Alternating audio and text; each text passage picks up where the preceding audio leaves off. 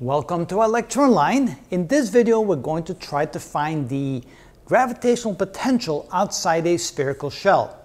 Now the location right here is a distance r away from the center of the shell. Notice that this is hollow right here.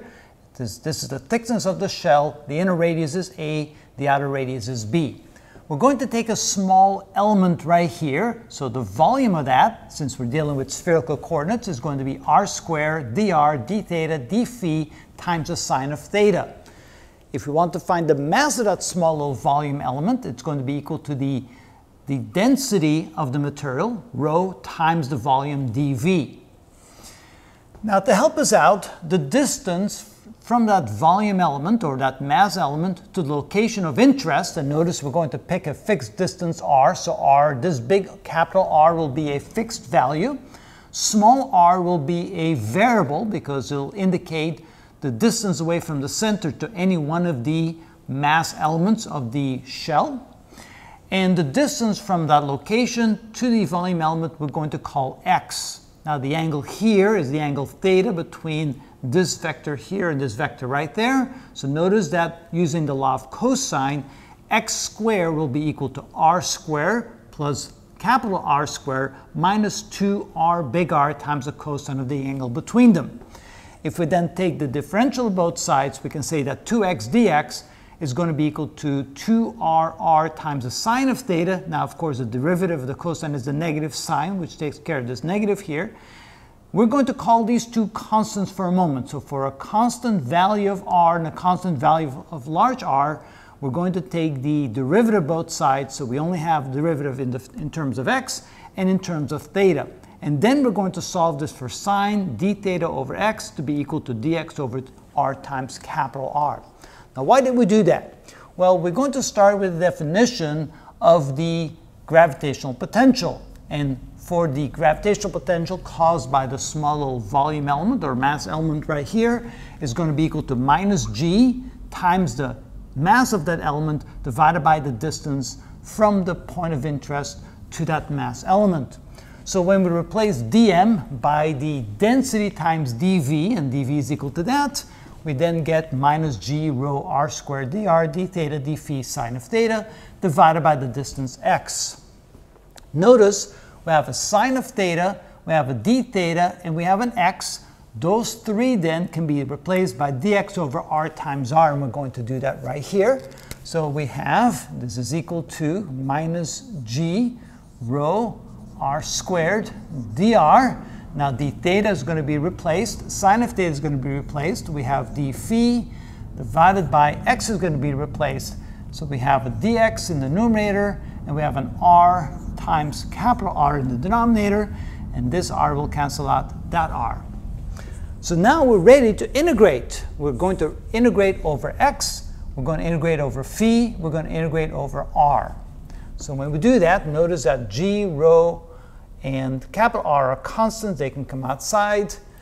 And uh, so what that means is we're going to take the gravitational potential is equal to the integral of all the d phis which is equal to the integral of that. So that's a minus g rho divided by r times the triple integral because we have an r dr d phi dx.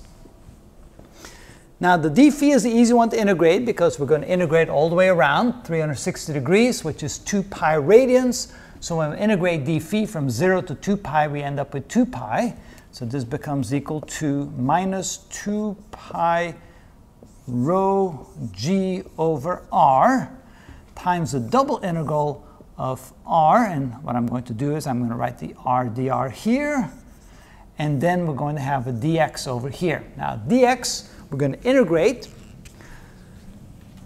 the from our location. We can see that the closest approach to our location is this distance right here which is going to be r minus this variable r right here because r is going to vary from there to there. So we take this total distance minus this distance r. That will be the closest approach. So that means we have dx is going to be integrated from r minus little r to the maximum distance that x can have, which is over on the other side. So it would be r plus r over here. So those are the limits of integration for dx. So we can go ahead and integrate that and see what we get. So this is going to be equal to minus 2 pi rho g over big R times the integral of r dr times x evaluated, because if we integrate the x, we get x, evaluated from r minus r to r plus r. So we plug in the upper limit, r plus r, and we subtract from that when we plug in the lower limit, r minus r. Notice that this negative will cancel out that negative, make that a positive. The big r's will cancel out, so this becomes 2, yeah, that becomes 2 little r times this, so this becomes minus 4 pi rho g over big R times the integral of r times r, which is r squared dr. Now, this is going to be integrated in the radial direction from the inner radius to the outer radius, so from a to b, from a to b. So we can go ahead and integrate that integral. That will be r cubed over 3. So let's come over here. So this becomes minus 4 pi rho g over, now we have, when we integrate this, we get r cubed over 3, so we have over 3 times r, times the quantity r cubed from a to b. So we plug in the upper and lower limits, this becomes equal to minus 4 pi rho g over 3r times b cubed minus a cubed.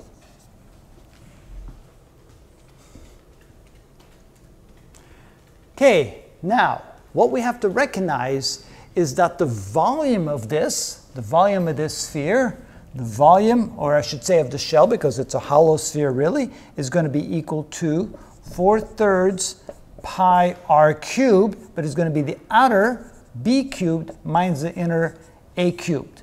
And the mass of that is going to be the density times the volume, which is going to be 4 thirds rho